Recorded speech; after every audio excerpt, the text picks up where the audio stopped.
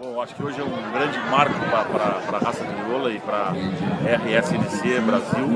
Nós estamos montando uma, uma parceria, uh, eu acredito que é uma parceria do Mercosul uh, com essa modalidade.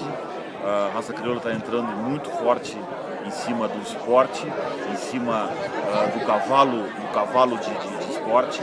E essa parceria eu tenho certeza que nós vamos colher um fruto muito forte a partir de janeiro.